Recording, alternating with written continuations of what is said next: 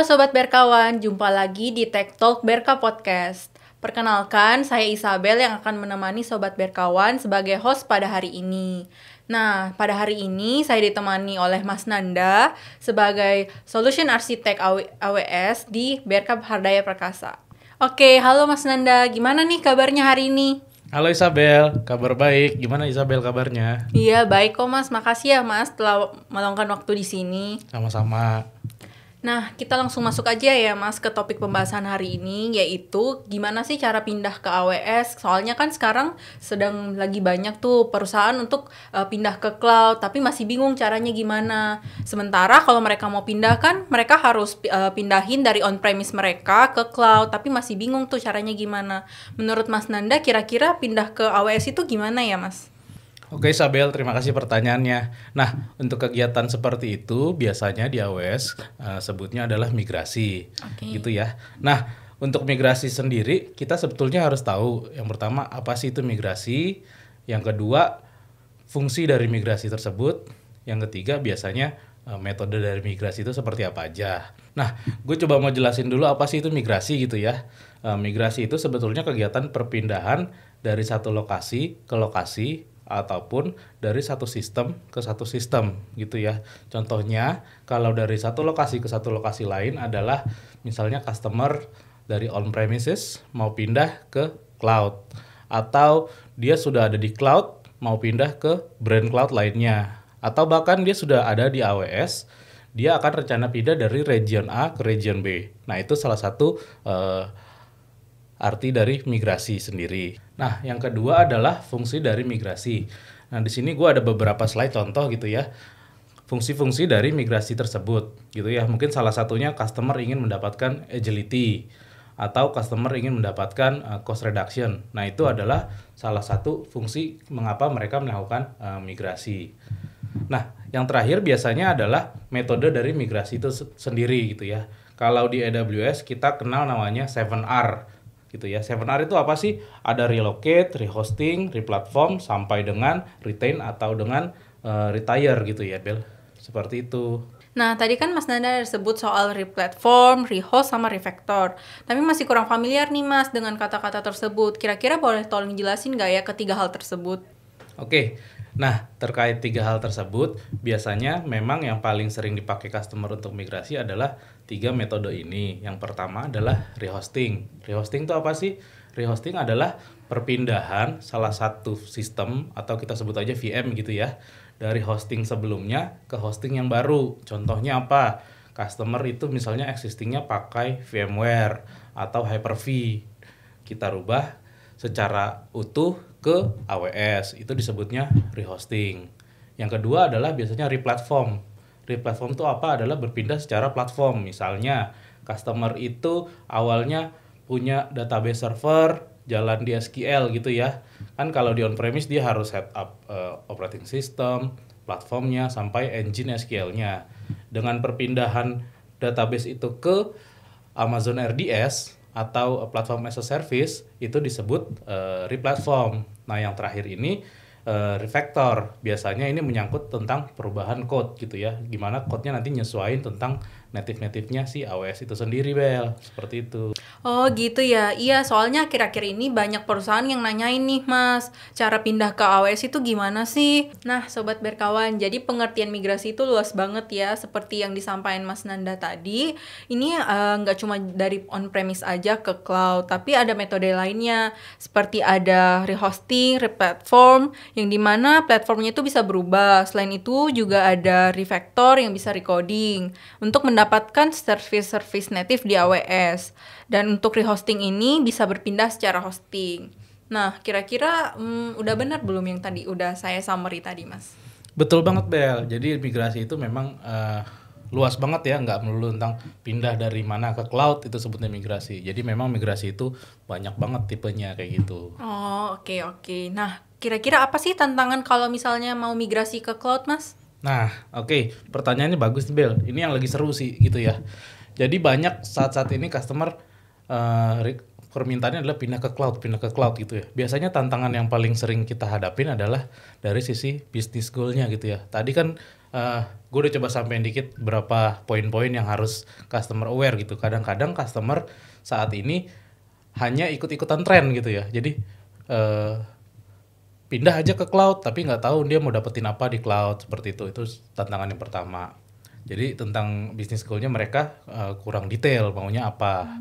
Yang kedua biasanya tantangan kita adalah skill gap nih. Mereka pengen ke cloud, mereka udah jelas pengen dapetin cost efektif, tapi timnya belum mumpuni untuk uh, operate operate di cloud gitu. Jadi ada skill gap di tim-tim uh, operation mereka. Mungkin dua tantangan itu yang paling sering kita hadapi gitu sih. Oh, oke. Okay. Jadi dari yang Mas Nanda sebutin tadi ada dua tantangan ya, business goal dan skill gap. Tapi emang sih Mas, uh, kebanyakan perusahaan-perusahaan itu mau pindah ke cloud, tapi itu masih belum aware terhadap mereka itu uh, punya skill gak untuk pindah ke AWS.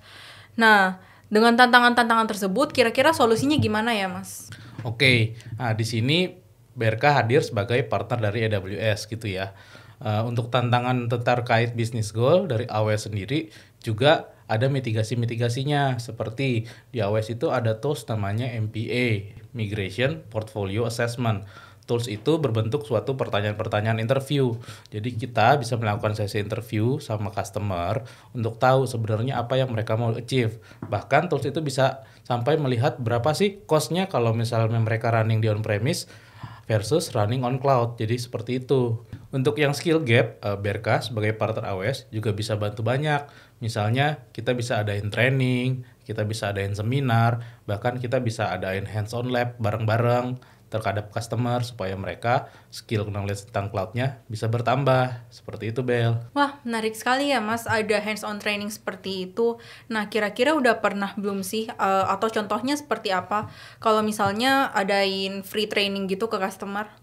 Nah kebetulan banget nih kemarin tanggal 13 Oktober kita baru aja ngadain training untuk teman-teman IT yang ada di kawasan Cikarang dan Jababeka mereka sih sebutnya itu Komit KB ya, Komunitas IT Karawang Bekasi gitu ya. Di situ yang hadir kurang lebih sekitar 30 perusahaan. Jadi setiap perusahaannya itu kita kasih tuh voucher kredit senilai 100 USD sama di situ kita bahas macam-macam solusi dan juga hands on. Kemarin itu kita hands onnya terkait tentang solusi web hosting dan kita kenalin juga tentang tools MGN, toolsnya migrasi AWS yang baru. Seperti itu, Bel. Wah, menarik banget ya, Mas. Ada hands-on training seperti itu. Baru denger nih ada hands-on kayak gitu. Nah, dari situ customer bisa mulai belajar ya cara menggunakan AWS itu gimana. Uh, tadi kan Mas ada sebut MGN ya. MGN itu kalau boleh tahu apa ya, Mas ya? MGN itu adalah salah satu tools yang sediakan AWS untuk melakukan migrasi secara metode rehosting. Jadi kelebihan dari aplikasi ini customer bisa melakukan migrasi dari on-premise, dari cloud lain atau bahkan dari region lain ke AWS secara seamless tanpa minimum downtime. Jadi nanti customer tinggal install satu agent, otomatis dia akan melakukan migrasi secara seamless seperti itu Bel. Kebetulan MGN ini memang baru launch di Indonesia per Agustus kemarin. Makanya di Cikarang kita coba kenalin ke teman-teman IT supaya mereka bisa punya experience terkait migrasi ke AWS secara seamless. Seperti itu. Oh gitu ya, MGN ini baru di Indonesia. Canggih juga ya.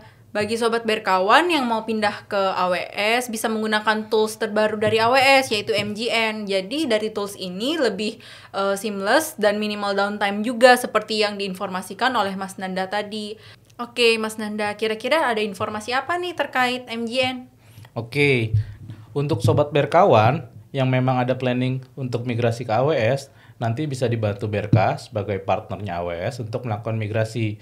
Jadi, sobat berkawan yang memang punya planning untuk melakukan migrasi, dari kita sebagai partnernya AWS ada program free trial selama 60 hari yang bisa digunakan untuk mencoba service-service AWS bahkan untuk melakukan migrasi secara gratis. Mungkin untuk lebih detailnya bisa hubungi tim marketing ya. Wah, luar biasa sekali ya, Mas. Mungkin masih banyak nih, Mas, obrolan tentang AWS. Kalau misalnya kita obrolin lebih deep lagi, mungkin kita stay di ruang ini 1 sampai 2 jam lagi kali ya, Mas ya. Iya Bel, AWS migration itu emang luas banget kalau diobrolin. Mungkin kalau dijabarin secara detail nggak akan sempat di sini. Nah, untuk sobat bekawan yang ingin tahu lebih detail tentang AWS migration, silahkan hubungi tim marketing dan ngobrol bareng expertise AWS di Berka. Oke, seru banget ya topik pembahasan kita pada podcast kali ini. Nah, kalau kita tarik kesimpulan, maka migrasi ke AWS itu banyak pilihannya. Ada relocate, ada rehosting, replatform, dan masih banyak lagi yang tadi Mas Nanda udah jelasin. Nah, selain itu ada promo juga untuk Sobat Berkawan yang berminat untuk pindah ke AWS. Nah, dari BRK ini seperti yang Mas Nanda udah sebutkan ada program trial selama 60 hari. Untuk lebih detailnya bisa hubungi marketing di email di bawah ini. Oke, makasih ya Mas Nanda udah menyempatkan waktunya untuk hadir di podcast episode kali ini. Iya, sama-sama Isabel. Semoga yang disampaikan bisa bermanfaat. Nah, iya Mas, terima kasih juga. Nah, terima kasih juga untuk Sobat Berkawan yang sudah nonton dan dengerin Tech Talk BRK Podcast pada hari ini. Oke, sampai jumpa lagi ya di episode berikutnya. Dan jangan lupa di subscribe, like, dan share ya ke teman-teman Sobat Berkawan. Sampai jumpa lagi. Bye-bye. Bye-bye.